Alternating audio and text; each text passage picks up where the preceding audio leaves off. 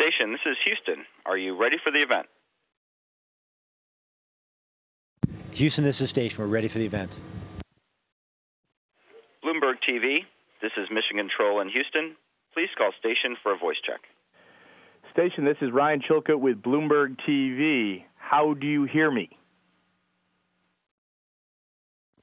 Bloomberg TV, International Space Station. We've got you loud and clear. Fantastic. What an honor and a pleasure. Welcome to Ryan's Russia. I understand I have all six of you uh, on board up there right now. Ryan, you almost do. Oleg's uh, busy flying the space station. He's still hard at work, but we've got uh, five of six. Someone has to fly the space station. that that's very excusable. How does it work up there? I want to ask you. There's six of you. It's a big station, right? Do you uh, do you work in separate areas? Are, are some areas segregated, Russians only, some areas Americans only? How does that work? No, absolutely not. But it's a great question, Ryan. Uh, we've got uh, we we do often talk about there being two segments, there being the U.S. operational segment and the Russian segment, when in fact this is one space station, one crew, and uh, we're um, supported and uh, and the space station is largely operated by control centers all around the world. But uh, from the perspective of the people that live and uh, and work aboard space station, this is one big team. Was that a mosquito? He was just knocking down there. What? maybe I shouldn't ask what, what that was. so, in terms of the size, no, no, no mosquitoes up here. Thank. in terms of the size of the station, do you find yourselves bumping into one another? How, how big is it, and how often do you interact? uh, we bump into each other every day, all day long, and station is big, but it is amazing how often we'll all be working in like one cubic meter out of the thousand cubic meters that are up here, and it's just it's just one of the facts that happens that you'll have one rack and there'll be a set of experiments, and and at least three of us will be working all around this one rack. And how do you divvy up the resources? I mean, I know sort of six grown men, two bathrooms, right? One on the American side, one on the Russian side. Do you uh, share bathrooms? What happens if one breaks? A timely question. Uh, that that often does happen here, and uh, we've got. I guess I would consider we have almost uh, two full baths or fully functional ones. We've got two smaller ones that are in the uh, the Soyuz vehicles that brought us up here and will bring uh, each of us crews of three uh, back to the planet Earth. Um, we do spend a surprising amount of time keeping that hardware working and functioning. And uh, but it's important to us. And uh, when there's an issue with uh, with the one that's in Node 3, for example, then all of us use the one in the service module. And if there's an issue with that one, then we all use the one up here. But uh, no, there's no uh, no restrictions one way or the other. And you have like a maintenance schedule of some kind. I mean, uh, can, can you? Some, presumably the commander can pull rank and say, "I'm not going to clean." you don't want to run the risk of a mutiny. No, actually, um, there's not there's not uh, per se, um, you know, so much a dedicated maintenance schedule is. A lot of the work that we do is on condition. So uh, if uh, if everything is working and humming along well, um, and we don't have to change out a component, for example, for every you know every three mo- months or whatever the the duty cycle would happen to be on it, um, then things are fine. Occasionally, we'll have a light, an indicator light that'll come on to tell us that there's an issue um, with one of the components, and we'll roll up our sleeves and we'll go to work and square it away. If you don't mind, if I could ask one of the cosmonauts a question, I want to ask about how you eat on board. Is that something that uh, you do separately? Do you invite the Russians over? Do they invite you over? I mean, is it sort of uh, freeze dried borscht on Wednesdays?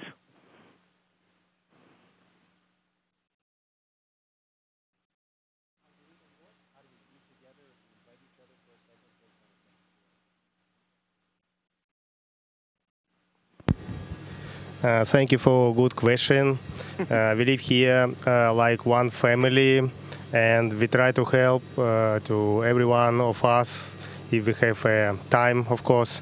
Um, uh, we have um, maybe not a lot of time, but we have a time for to be together, maybe during the supper or during the weekends. Um, we have dinner together. We speaking about our problems, about our family, uh, of course, uh, on the earth, and uh, we we can see interesting program or movie together. what else? One of you celebrated your 40th birthday Thanks. up there. Did you have a big party? Uh, yes, we uh, we had uh, two uh, uh, same parties of uh, birthday parties. me and Anatoly here on board. it was a beautiful time because we were on altitude, uh, 400 kilometers uh, over the Earth. It's like maybe record in the world. I, I think. And uh, we had a beautiful party with uh, beautiful uh, songs of our commander uh, Daniel. He played guitar, beautiful songs, and we had um, nice food.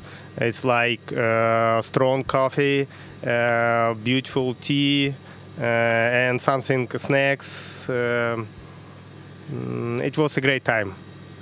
I got to ask you, give me a, and I, give me one thing that you think Russia does better when it comes to space flight, and one thing that you think the United States does better.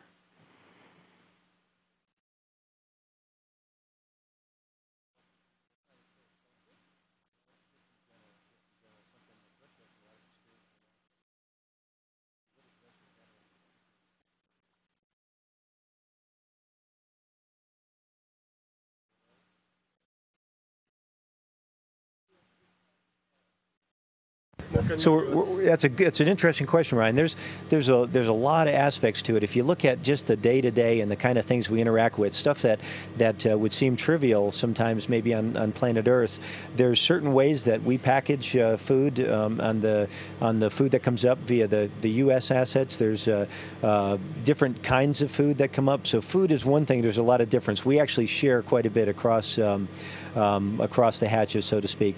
I think if I were to look at it more globally, though, the thing that, that Russia brings to space exploration that a lot of us are newcomers to is just the experience of long duration spaceflight. How do you live and work? How does a, um, a human being stay up here and operate for six months at a time? How do you keep the hardware working for, for th- those kind of uh, you know durations? And on the U.S. side, we have that we're, we're relatively new to this. Um, the European Space Agency astronauts, many of whom have already been flying and have a lot of experience on the Mir um, for long duration as well, um, probably already have a lot of that background. I think we tend to make things um, on the U.S. segment, tend to, things tend to be very, very intricate, very, very sophisticated, sometimes maybe at the expense of easy maintainability, I guess I would say sometimes. We're learning a lot of great lessons here um, on the modules that are forward of uh, PMA 1. Let me ask you about the Soyuz, because that's the way up to the station now. I wanted to ask you, um, you know, I guess this is your, you, you all came up now on the Soyuz. It must be very different than the shuttle.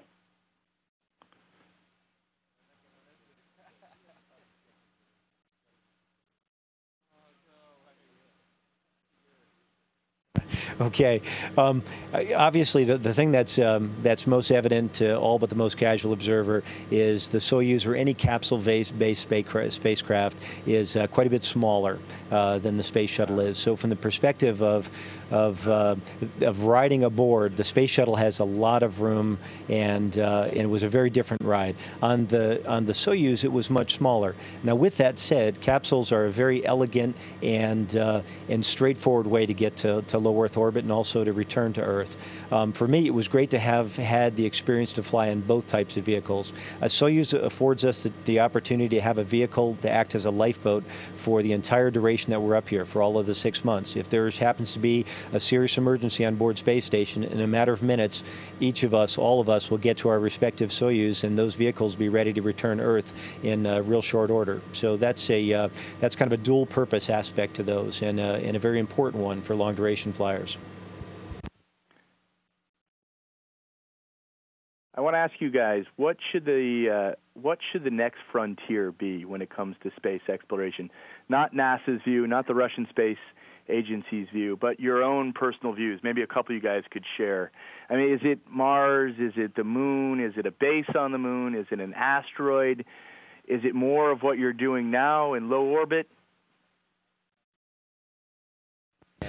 Well, I think uh, all three of them uh, are going to happen. Uh, I mean, everybody looks always at the, the, this moment and uh, and the budgetary problems of the next half year, but in the long run, uh, humans will spread through the solar system, and uh, I think the asteroid is a very interesting topic. I, I, never thought about that before it came up. I think that's a very very good one, but for sure we will have base on the moon. There will be there will be mining on the moon. We will get great sources uh, of energy. We will use the solar energy more, and then we will go to Mars. The problem is when. I always say in 25 years, but I said that 25 years ago as well. That's one of the things of spaceflight. We have to be very patient, but it will happen for sure. If, if you look at our state of technology, there's only about four general places we can go right now in space. We could do low Earth orbit, we could do something between the Earth and the Moon, and we call that the Earth Moon CIS space. We can do something on the moon and possibly go to Mars. And and th- these are about the, the four general things that, that we can do right now or contemplate doing. And as far as I'm concerned, it doesn't really matter which one. You know, choose one. And the important thing is to choose one and stick with it for a long enough period of time so you can make some progress. And it takes about 10 years to make any progress in these fronts. So, so we have to choose one of these and roll up our sleeves and just work and work and work for about 10 years before we will see real progress on this front. Tell me about some of the traffic you've you've got coming up there. You've got uh, it's be, it's being called the cosmic traffic jam. You've got an awful lot of spacecraft coming up there over the next several months, don't you?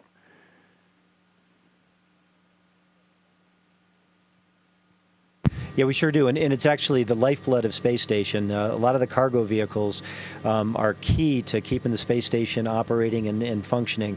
It's the the method uh, for us to return science, something we put the uh, shuttle to good use for, in addition to bringing cargo up here. Um, and uh, SpaceX, the Dragon, uh, their their vehicle, which uh, will launch, we hope, on uh, April 30th of this this month, will afford the capability of returning hardware from station.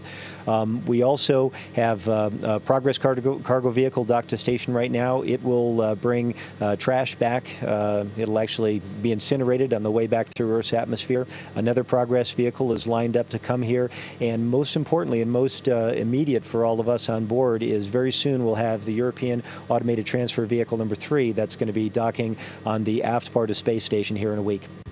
You've got commercial spacecraft, you've got European spacecraft, you've got Japanese spacecraft, Russian spacecraft, um, the commercial from the United States. I mean, it, is that an indication that the times have changed? The old sort of uh, Cold War space race is long past because it's not just two countries, not just two spacecraft, but I mean, it's you know, you guys are busier than than Star Trek up there with the, all the spacecraft coming in. Yeah, I, I think well, uh, we are already for a while in the in this international uh, era, uh, and I think that's a very good thing. I, I, really like it to work one day in the Japanese module, then do something in the Russian module, uh, and uh, European, uh, American. That that's very good. And I think we we're getting into another new era, and that is the, the, the commercial space flight. So it, it's very interesting that that the Dragon is coming soon, and that's that's the future. Like like with all kind of transportation we have uh, uh, on Earth. Uh, in the beginning, it's it's it's new and it's some pioneers, and then the companies take over, and agencies go beyond and do new things and then continue with exploration. I think that's a natural process, and I'm very pleased that that I'm here now when we start with it. SpaceX says they may have round trip flights to Mars for, let me make sure I get this right, a half million dollars in 10 years' time. What do you guys think about that? That changes everything, doesn't it? I think if we can greatly reduce the expense of uh, getting things to low Earth orbit, it opens up in an unbelievable way uh, space uh, exploration for uh, many more people than have had a privilege to do this so far. And uh, I think probably all of us would share the sentiment that says the more the merrier. And uh, and as soon as you can have companies are able to do this and be viable, um, and in the private sector, then it greatly, greatly opens up the possibilities for spaceflight. Um, like Andre said, I think it's important for the really hard, very, very tough things to be done probably by um, by nations and by nations' space agencies and and uh, ideally by nations working together. So th- those are the big steps that need to be taken, you know, on a big scale, and they don't often return a lot of in, return a lot on the investments in the near term. As soon as we figured out the Earth to low Earth orbit piece, and I think we're getting pretty close to that right now, then the time is ripe for commercial uh, companies to be able to step in and take over that piece. And then the governments and the international space agencies will then take the next stride. And, uh, and I think that's great. And I think uh, the more vehicles that we have that are able to fly in space, the better it is for all of us. Now, a very important question. Uh, have you tried Angry Bird Space yet?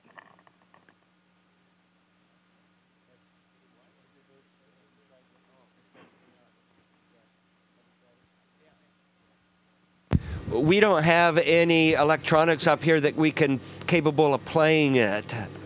Oh, no video. Yeah, game. yeah, it's too sophisticated for. Uh, it's too sophisticated for the space station, yeah. and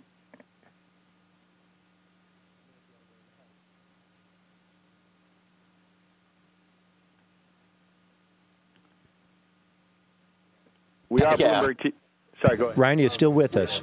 Yeah, yeah. Look, I'm sorry. I, I, thought we might have lost you. Sure. We are Bloomberg TV. We were wondering how do you keep track of your investments when you're so far away?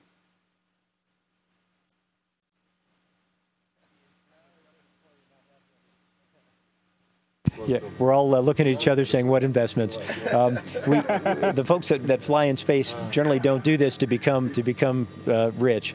And, uh, you know, the, the, the richness we have is in the opportunity to do this. So actually, I don't really think a whole lot about it and uh, don't uh, don't really have a whole lot uh, in that. Maybe down the road sometime, but uh, for me, my focus has been, you know, working in this business and uh, working with this uh, this great team that we have on board, and and with all the wonderful folks, smart folks that are on the ground that make it possible. Uh, one last quick question: When you look, and I think our biggest. I was just saying, I think our biggest investment, uh, investment is our families, and that goes well. One quick question. When you look out the window, everybody wants to see, obviously, you can see Earth. I think we only got about 30 seconds. Uh, you can see what other planets, asteroids, space junk. What, what do you see out the window?